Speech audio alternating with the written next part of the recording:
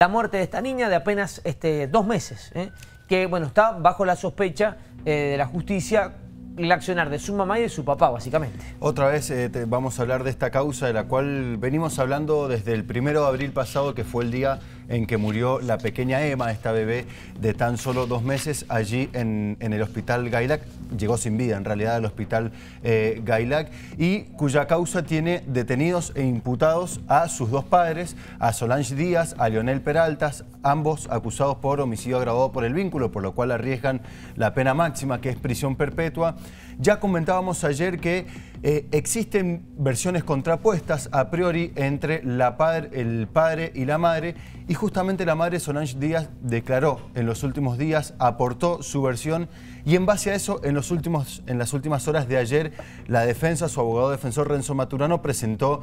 un escrito solicitando la libertad o algún cambio de calificación en la investigación al menos, así que ahora tenemos aquí sentado el doctor para conocer un poco más de detalles al respecto. Efectivamente, está con nosotros Renzo Maturano, que es el abogado defensor. ¿eh? Eh, usted es el abogado de la mamá, ¿cómo le va? Gracias, buen día. Buen día, exactamente. bueno,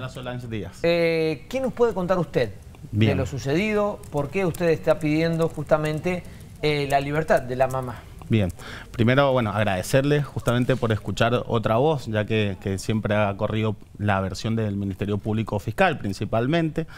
Eh, en primer lugar, la declaración fue una declaración muy larga, de dos horas y media, la cual se, se, sometió a un interrogatorio amplio por el Ministerio Público Fiscal, en el cual le fue preguntando básicamente mes a mes de cómo fue su comportamiento y su vida y su relación de pareja desde el año pasado hasta el día de la fecha, lo cual va a ser coincidente con todo lo que va a surgir de los datos que se van a extraer de, de los teléfonos celulares, además de las declaraciones testimoniales. Y justamente hay una declaración principal en la cual hemos asentado el pedido de sobrecimiento definitivo en, esta, en esta causa, la cual es justamente de la, de la doctora Rico, que es la doctora que le practicó RCP durante 30 minutos, alrededor de 30 35 minutos, eh, y justamente eh, que es la única declaración de los médicos, porque quiero, quiero aclarar que han sido citados del enfermero, jefe de enfermería que recibió inicialmente a Emma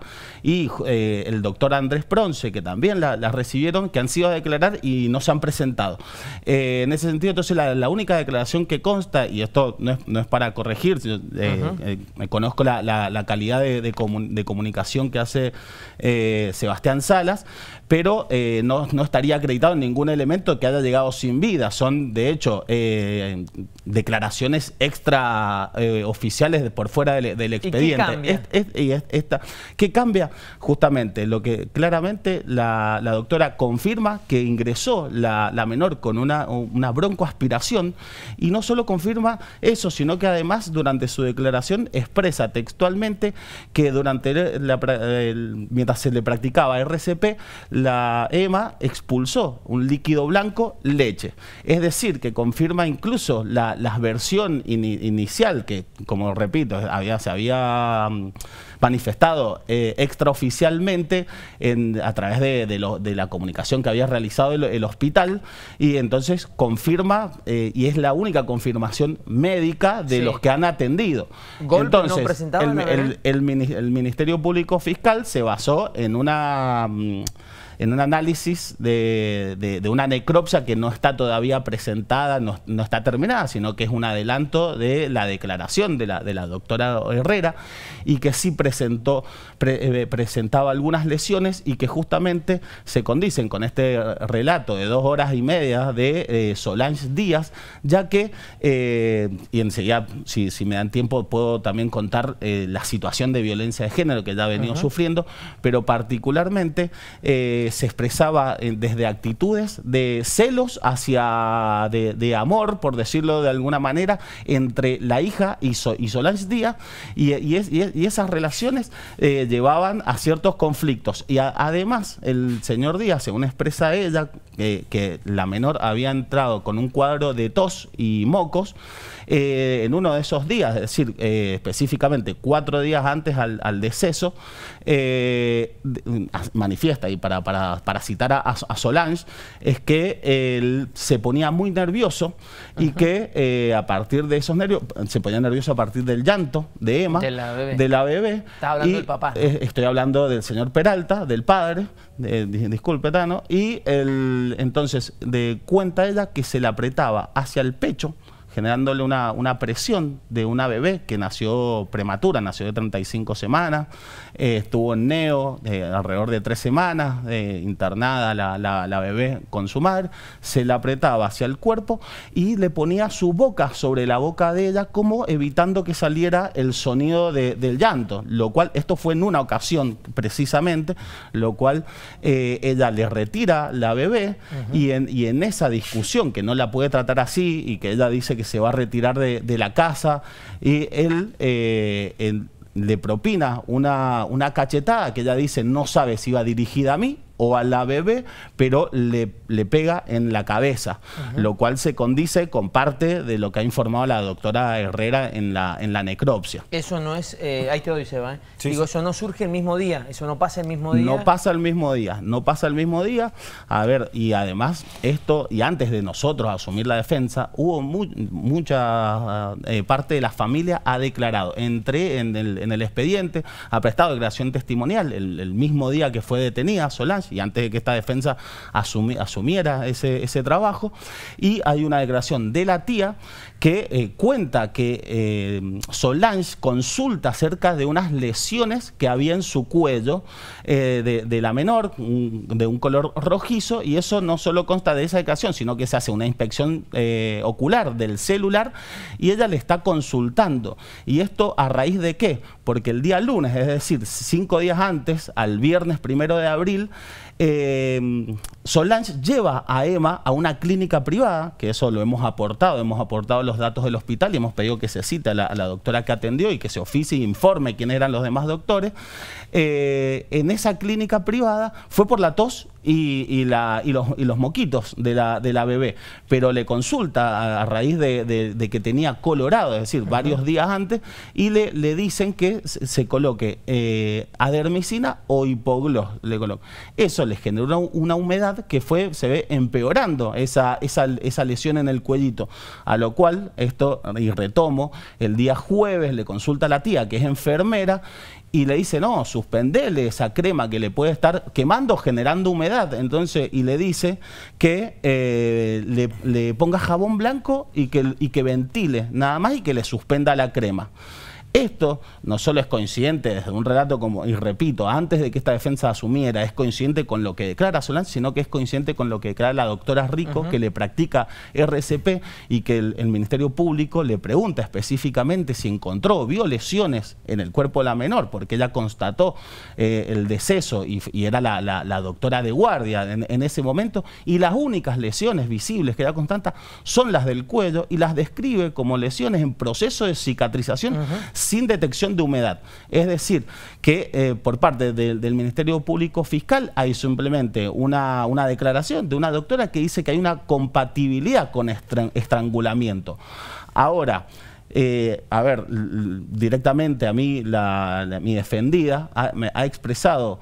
eh, claramente en su, en su versión desde el primer día que yo asumí esa defensa y todos los días que fuimos charlando y fue coincidente que si ella hubiera visto específicamente al señor Peralta eh, estrangulando algo, no, no, hubiera dudado ni un segundo en dar aviso a las autoridades y, todo en un marco donde ya se venía viendo una, una situación de violencia por parte del señor y de ella que fue que, que bueno ha sido víctima y ella no identifican por ahí muchas de esas de esas violencias y en eso ya ha, dado intervención el Ministerio de Género y Diversidad de, la Nación a través de un equipo interdisciplinario, que eso se irá a aportar, el informe que realice eh, este equipo se irá a aportar, pero justamente va a dar cuenta de, todo esto, además de los antecedentes penales que ya existen del señor Peralta. Eh, doctor, respecto a las lesiones, entonces hay como eh, una versión contrapuesta entre ambas médicas. Acá estoy leyendo justamente la declaración de Herrera, que es eh, la que hace un, que es un adelanto, la necropsia de todas forma, no es el informe final, pero ella habla, como usted bien decía recién, que las lesiones en el cuello podrían ser compatibles con estrangulamiento, porque además tiene lesiones internas que no tienen nada que ver con una dermatitis, eh, que es lo que explica Solange Díaz y lo que salen los mensajes con la tía. Y respecto a la broncoaspiración, en la declaración de Herrera ella prácticamente la descarta porque dice que no vio en la tráquea restos alimenticios.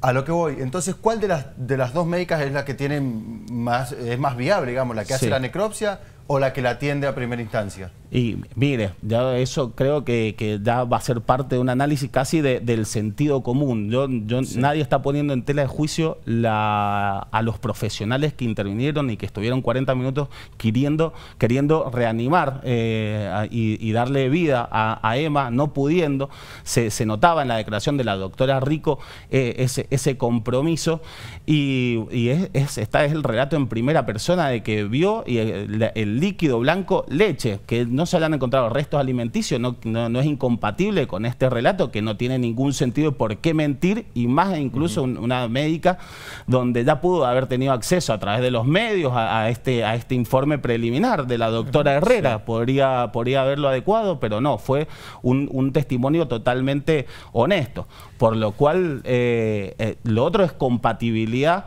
con estrangulamiento a lazo y será responsabilidad del Ministerio Público Fiscal a través de, de algún elemento probatorio que hoy no existe, para ver si el señor Peralta pudo haber hecho eso de forma dolosa o de forma culposa. ¿Por qué? Porque en la declaración de Solange también se expresa de que él no podía, no sabía agarrar de, una forma correcta a la bebé y manifestarse le tambaleaba la cabeza a la, bebé. Entonces, toda esta falta de, cuidado eh, será responsabilidad del Ministerio Público demostrar esa, esa atribución, particularmente del señor Peralta, lo cual queda manifiesto que la señora Solange Díaz aportó todos los elementos, como digo, y se sometió a todas las preguntas y, pertinentes y no pertinentes, porque buscaba ver la credibilidad ¿no? y la, la, honestidad de ese testimonio por parte del Ministerio Público, lo cual entiendo que ha quedado totalmente demostrado. Eh, ambos, para entender un poco el contexto de la pareja, nosotros ya hemos comentado que existía esta situación de violencia de género, incluso con una condena eh, contra Leonel Peralta, pero para entender un poco el contexto familiar, ellos desde el momento en que nace, a ver, se peleaban y volvían, básicamente para resumir un poco, pero desde que nace Emma, ellos están juntos o a partir de cuándo empiezan a convivir juntos, cómo era el trato a partir de ahí. Tengo entendido que los dos son eh, padres primerizos, además, eh, si nos puede especificar un poco cómo es o resumir cómo fueron esos casi dos meses de vida de Emma. Sí, perfecto. Sí, no, la única convivencia fue eh, un año, un año anterior. Luego, a partir de estas denuncias y toda esta situación de violencia de género, eh, la familia de Solange siempre se opuso a esta, a esta relación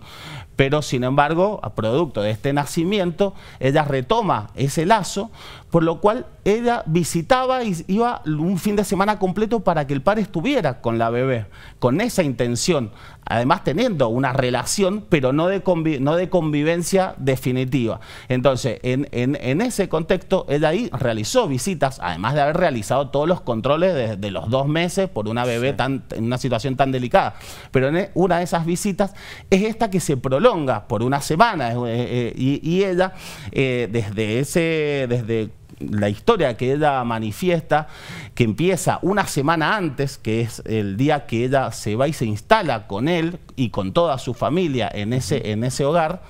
se puede identificar en, su, en su relato elementos como por ejemplo que ellas se encuentran en el centro ese día viernes, eh, ella iba a hacer un curso de cosmética y era el cumpleaños de su suegra. Y el chico eh, Peralta iba a comprarle un regalo a ella y la señora Solange eh, Díaz le prestó la plata que era para el curso. Y quiero decir, esto no, no científica, pero vemos rasgos de violencia ya económica. Y después ya instalado en la casa de él el cuadro de tos y mocos empieza el día sábado y es esa semana, esa es la, semana de, esta, de esta historia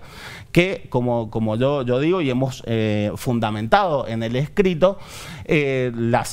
señora Solange Díaz tomó todas las diligencias posibles ante una tos y un cuadro que, que no, se, no, no, parecía que fuera más grave y fue a una clínica que queda enfrente del hospital Gailac y eso lo hemos ofrecido como, como nueva prueba y que se cite. Así que eh, la situación de, de, de, convivencia se habrá dado esa semana, pero no, no, había, no había una continuidad de forma permanente. Ella iba, y venía de, su, según palabras textuales de, ella. O sea, y en, concreto lo que ustedes solicitan es el sobreseimiento, entendiendo que no hay delito. no hay delito. Y en todo caso, si hay un delito, sería eh, un homicidio culposo, es decir, un hecho accidental o negligente o imprudente. Exactamente. En el peor de los casos que quisiera entenderse que hubo algún, alguna falta en el deber de diligencia de, por, por, justamente por esta, esta posición que, que ponen a los padres de responsabilidad sobre sus hijos, tendrá que demostrarlo, pero lo pedimos subsidiariamente en el peor de los casos. Acá claramente no vemos elementos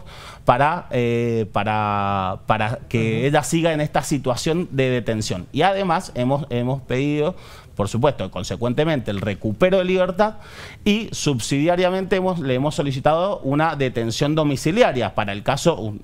ustedes sabrán que es el Ministerio Público Fiscal quien tiene en su cabeza la, calificación y, es atribución exclusiva de, de, él. Entonces nosotros a partir de este análisis creemos que puede, puede modificar el, fiscal la mirada sobre el caso, más teniendo en cuenta que solo existe una prueba que estaría apoyándose el, el fiscal. Bien. Bueno, veremos cómo sigue esto, porque después hay otra cuestión de violencia de género que seguramente va a ir en paralelo. Eh, Renzo Maturano, muchas gracias, muy, muy amable.